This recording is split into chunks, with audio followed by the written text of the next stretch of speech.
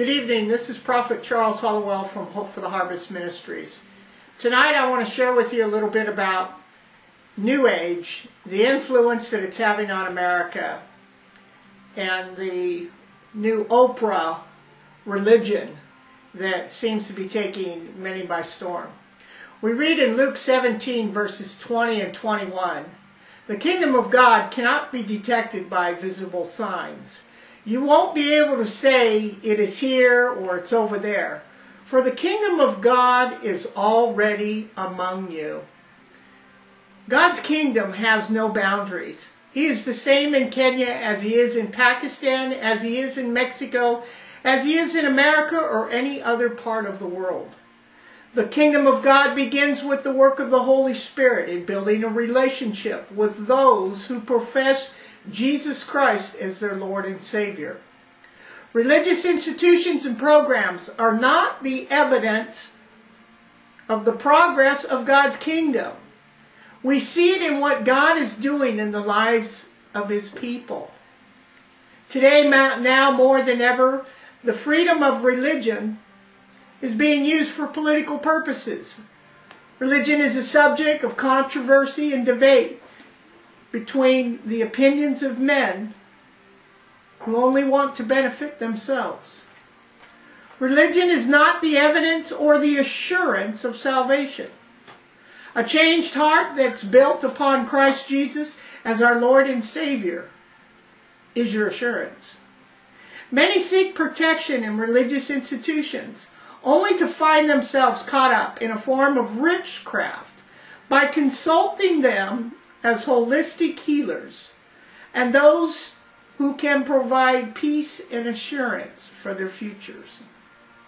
Many are caught up in the white magic that brings the earth, nature, and every living thing into oneness.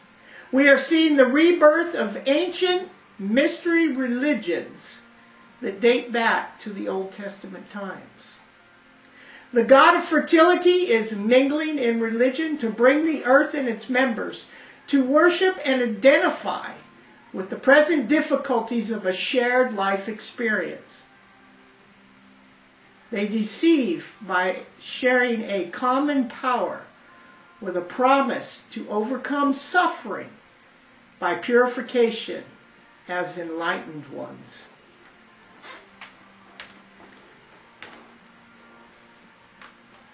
Celebrity channeling is popular and innocent in the eyes of many as it uses meditation techniques and crystals to form a trance-like state to communicate with the dead in order to obtain wisdom.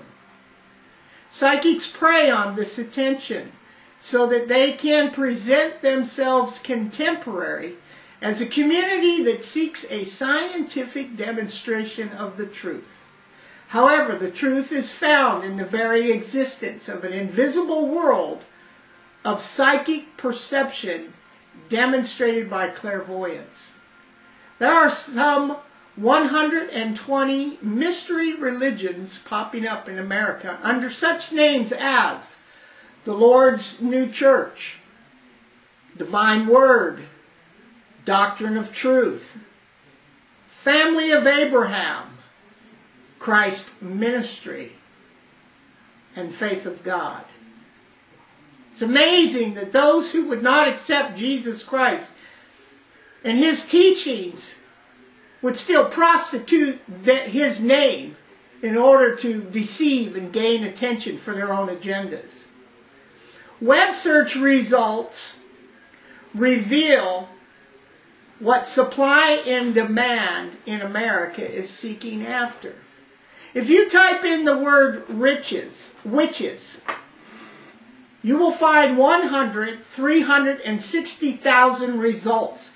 Type in paganism, 821,000.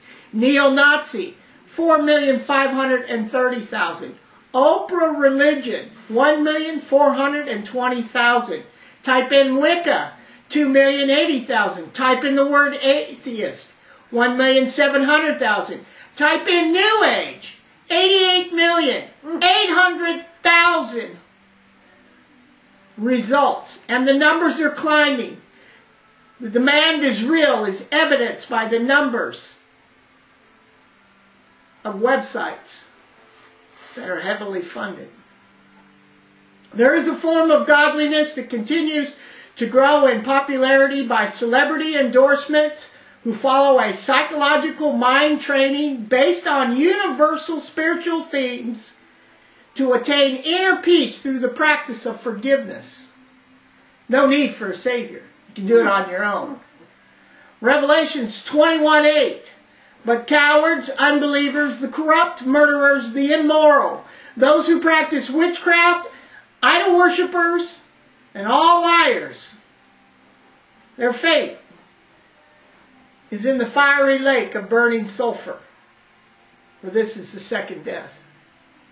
This is not a time to play around and think that books like Harry Potter or something so innocent that it's not going to harm our children, or the video games that have become so graphic in sexual and violence that you wouldn't send your child to see a movie, yet they're playing the games in your house and you're unaware of it. Everything that we watch supports the rating systems. And it's that demand that creates more and more of these type of programs that talk about vampires and witchcraft and mediums and, and all the good that they're doing, showing the way of the dead to gain closure. These are all an abomination unto God. It's time to turn the TV off. Take away the games and seek the face of God. Thank you.